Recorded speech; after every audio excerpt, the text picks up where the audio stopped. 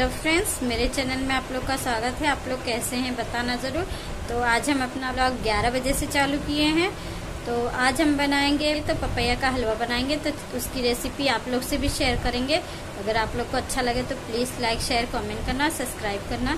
तो चलिए हम बनाना स्टार्ट करते हैं। तो पपैया का हलवा बनाने के लिए हमने दो कच्चा पपैया लिया है। तो इसे काट के और कद्दूकस कर लेते हैं। पहले इसे हम छील लेते हैं। तो पपिस्टे को मैंने छील लिया अब इसे कद्दूकस कर लेते हैं। पहले इसे धो लेते हैं। तो इसे मैंने धो लिया है। तो इसे हम कद्दूकस कर लेते हैं। तो जो बड़े छेद का होता है, उसी से कद्दूकस करें।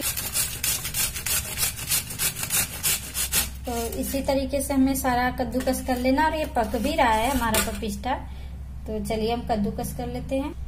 तो सारा पपिस्टा मैंने इसे कद्दूकस कर लिया है। इसको ऑन कर लेते हैं। कढ़ाई को हम गरम होने देते हैं। तो कढ़ाई हमारी गरम हो गई है। तो इसमें हम देसी घी डालते हैं।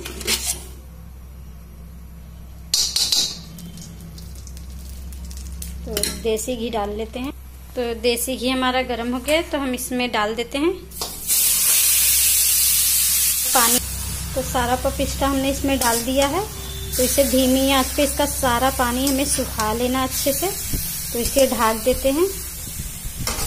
तो चलिए ढाक ढाक के हमें इसे बनाना है। तो आप लोग देख सकते हैं कितना इसमें पानी छुटा हुआ है। और हमारा जो पपिस्ता है वो भी हो रहा है।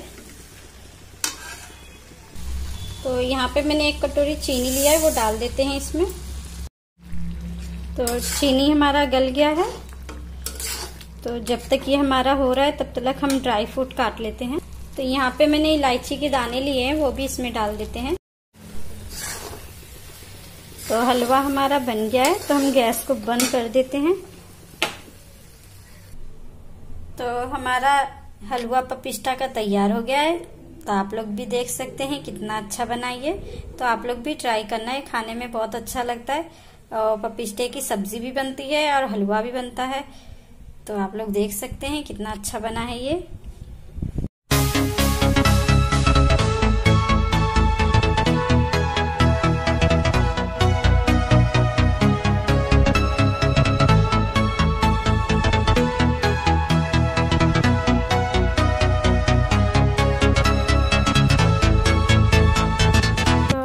आप लोग ने देखा, मैंने पपैया का हलवा कितने अच्छे से बनाया और इसमें मैंने कलर फ्रूट नहीं डाला है।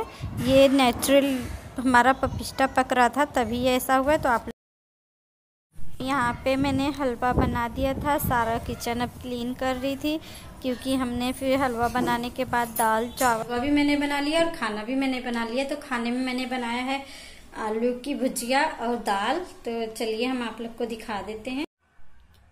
ये है आलू की भुजिया। यहाँ पे चावल डाला है तो यहाँ पे रोटी बना है और ये दाल है जहर की। तो यहाँ पे भी सारा काम हो गया है, सारा क्लीन है, झाड़ू पोछा मैंने कर लिया है और बच्चे सारे स्कूल गए हैं। तो फ्रेंड्स हम मीशो से कुछ मंगाए थे, कुछ ऑर्डर किए थे तो वो सामान आया है तो चलिए हम आप लोग को भी दिखाते हैं कि हमने क्या ऑर्डर किया था। तो ये है।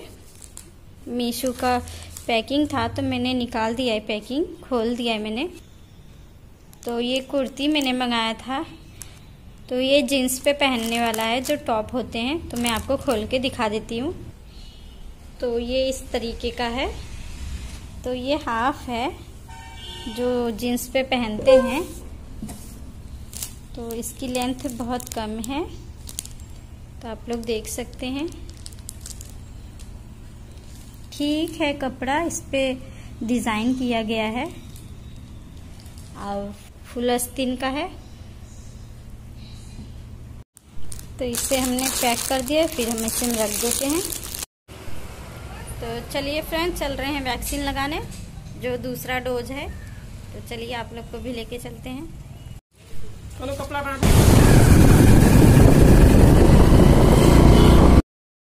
यहाँ पे आप लोग देख सकते हैं, यहाँ पे घोड़ा है और हम पहुँच गए हैं दवा खाने में। तो आप लोग देख सकते हैं तो आज हमारा दूसरा वैक्सीन लगाने का समय था। तो वहाँ पे हम थे, लास्ट में गए थे, सबका लग चुका था। तो हम ही यहाँ पे अकेले थे तो हमें भी लगवाना था तो हम आ गए यहाँ पे। मैं बैठ गई हूँ और मुझे सुई लगने वाला है, मुझे सुई से बहुत डर लगता है। तो तो भी हमने लगा लिया, लग गया हमारे वैक्स तो वैक्सीन लग गई है फ्रेंड्स। हेलो फ्रेंड्स शाम के सात बज गए हैं।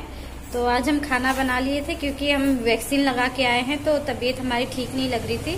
तो इसीलिए हम खाना शाम को ही बना लिए। तो हमने बनाया आज फ्लावर की सब्ज़ी और रोटी। तो इस ब्लॉग को हम यहीं पे एंड करते हैं। फिर मिलते हैं आपको नेक्स्ट ब्लॉग में। तब तक के लिए गुड नाइट अगर मेरा ब्लॉग आप लोग को अच्छा लगता है तो प्लीज़ लाइक शेयर कमेंट करना सब्सक्राइब करना।